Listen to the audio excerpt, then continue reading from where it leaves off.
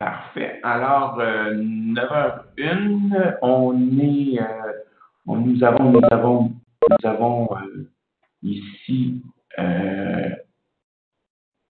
on est quoi? 5, 10, 15. On est à peu près 21 personnes connectées. Est-ce qu'on est bon pour démarrer?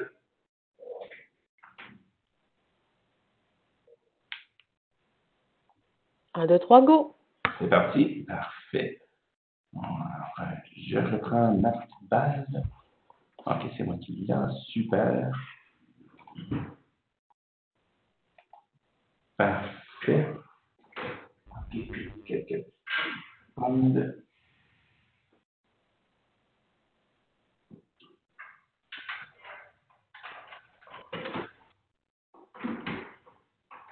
Super. Alors, juste pour euh, euh, vous confirmer, si vous êtes capable de désactiver, de mettre votre micro en sourdine, justement afin d'éviter qu'on entende, euh, entende vos, vos claviers ou votre vaisselle, ce serait préférable pour le bien-être de chacun.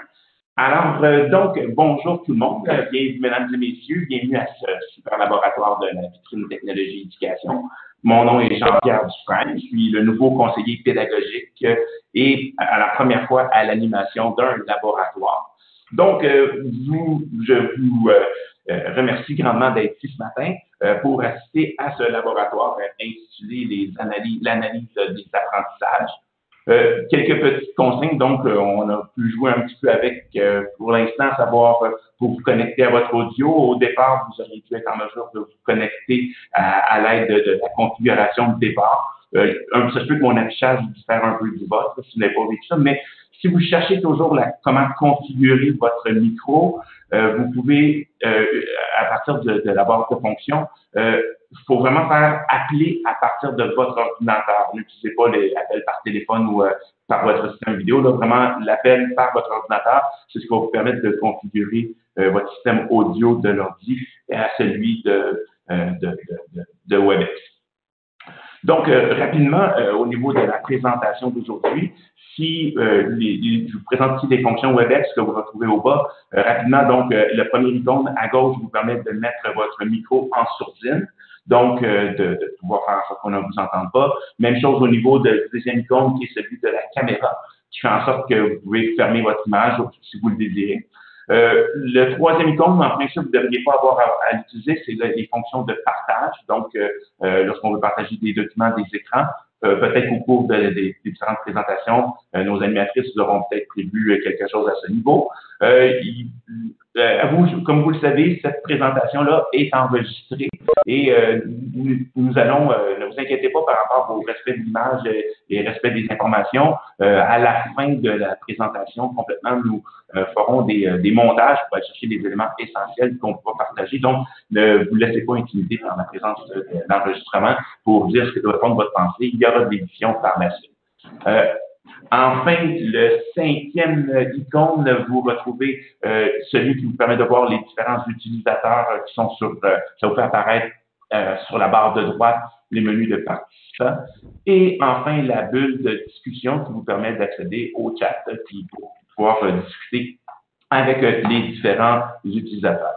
Enfin, les trois petits points, encore une fois, ça se peut que vous les avez, ça se peut vous les avez pas. Euh, ça vous permet d'aller de, de, toucher quelques autres euh, éléments euh, d'utilisation, mais qui ne seront pas euh, nécessaires pour aujourd'hui. Et enfin, le cercle rouge qui vous permet de vous déconnecter de la présentation. Euh, rapidement, euh, la VTE, pour ceux qui ne connaissent pas la vitrine technologie éducation, c'est une entité qui est financée par le ministère de l'Éducation et notre rôle, c'est d'aider les, les, différents établissements d'enseignement secondaire, les, différents hommes, mais surtout d'enseignement supérieur du Québec euh, en matière de technologie éducative, donc d'aider les, différents établissements. nos bureaux sont situés au Cégep Bois de Boulogne et naturellement, nos services seront à, à tous les différents euh, ordres d'enseignement. Euh, parmi nos projets, nous avons le projet CERES, qui est vraiment un engin de recherche très développé qui permet de trouver des sources documentaires et fortement axé sur les ressources éducatives libres. Donc, Pascal, vous avez déjà souvent entendu parler de ce sujet par, Pascal.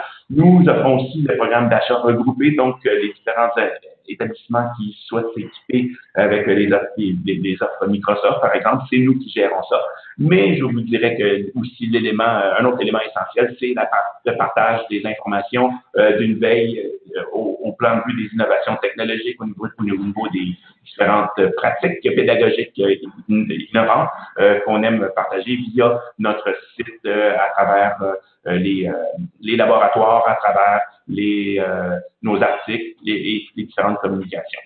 Vous pouvez nous suivre sur les différents notre site web, sur le vteeducation.org et sur Twitter, Facebook avec euh, l'identifiant VTE Edu et sur euh, Instagram également.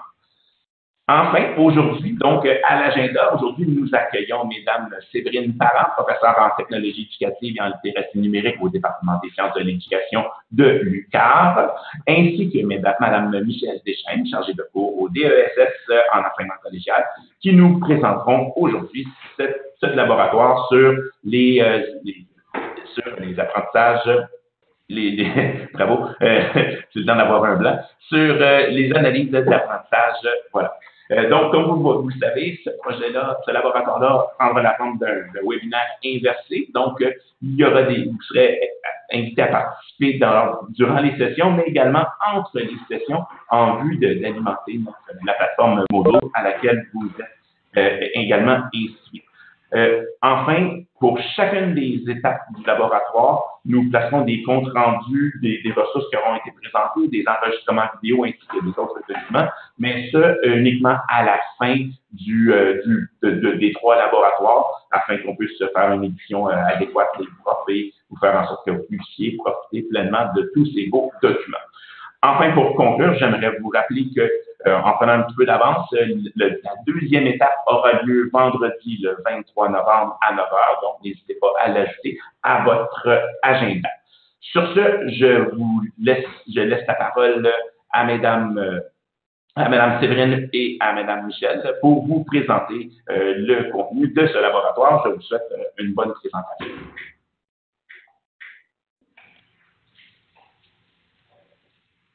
Merci, merci euh, Jean-Pierre. J'aime ça quand tu nous présentes comme ça avec aplomb. Ça nous fait rappeler que euh, on peut assumer un seul chapeau à la fois. Euh, est-ce que c'est possible de donner la balle à Michel ou qu'il vole la balle? Ah, tu peux me la voler, pas de problème. Et voilà. Voilà. Parfait.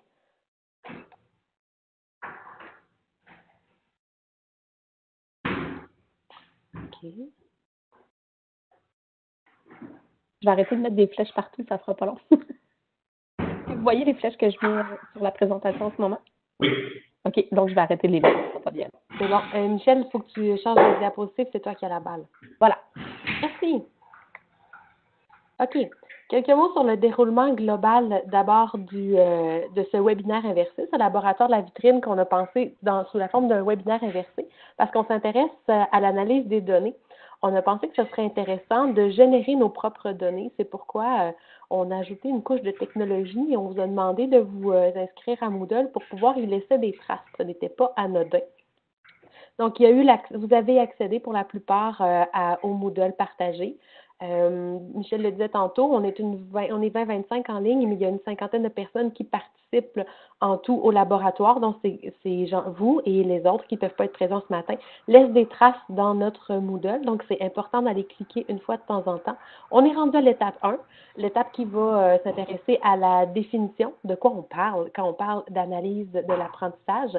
Il y aura, euh, il y aura j'ai envie de dire des devoirs, mais disons-le autrement, il y aura des ressources à consulter c'est la, façon euh, sexy de le dire, dans le, le Moodle, entre les, euh, les trois étapes, euh, je vous invite à aller les consulter par intérêt et aussi pour générer des données. Uh, right now from this uh, video conference for learning analytics from the La Vitrine. Uh, quelqu'un qui a but uh, do, do you need anything? Or? No, no, l'architecte is coming at 10.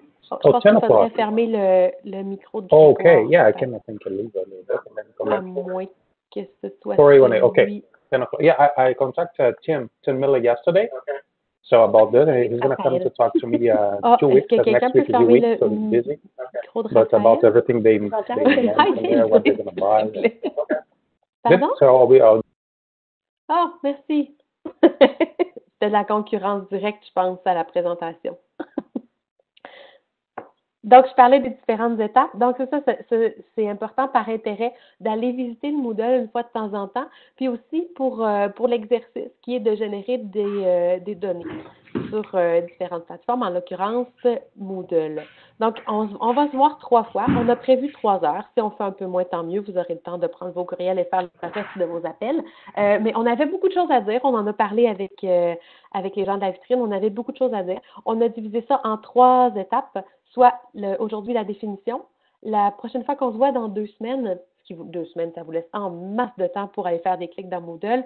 La prochaine fois qu'on se voit, on se parle des applications. On aura quelques exemples, différentes, euh, ressources euh, explorateurs du réseau ont été sollicités pour venir nous présenter euh, différentes initiatives. Et à la troisième étape, ben, on fera le bilan de nos savoirs et on s'intéressera au tableau de bord et au futur. Euh, comme le disait Jean-Pierre, euh, à la fin, en 2019, là, parce que quand on va avoir fini, ça va être pas mal le temps de Noël. En début 2019, euh, toutes les traces vont être disponibles sur le site de la vitrine. Si jamais vous aviez manqué une étape ou vous, vous auriez oublié d'aller sur le modèle chercher les, les ressources, elles vont toutes être disponibles sur le site de la vitrine dans les prochaines semaines. Si vous avez des questions sur le déroulement, n'hésitez pas à, à soit lever votre main, activer votre micro ou l'écrire dans le clavardage. Sinon, ce sera. Euh, ah, oh, Michel, peux-tu passer à la diapositive suivante? Parfait. Le,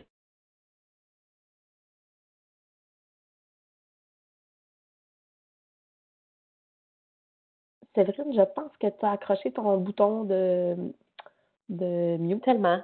Merci. je recommence donc ma phrase. Euh, pour aujourd'hui, on va s'intéresser à l'analyse de données dans d'autres domaines. Vous l'avez lu dans le, descriptif de l'activité du laboratoire. Euh, on, on pense que peut-être, on verra ensemble, d'autres domaines sont plus avancés en matière d'analyse de données. Donc, avant de s'intéresser à l'analyse de données d'apprentissage dans un contexte éducatif, on va aller voir ce qui se passe dans d'autres domaines. On aura quelques exemples. Si vous en avez, évidemment, n'hésitez pas à nous les partager. On va s'intéresser à ce qui pourrait être transférable au collégial. C'est un peu votre intention d'écoute. Quand euh, Michel et moi, on va vous, partager des exemples dans d'autres domaines, on vous demande de réfléchir, d'avoir en tête euh, la question qu'est-ce qu'on peut transférer de ça au collégial? Euh, parce qu'on va avoir une discussion, on va s'en parler. Ensuite, on va vous expliquer le, on va vous expliquer vous présenter rapidement FOVEA, un outil qu'on a créé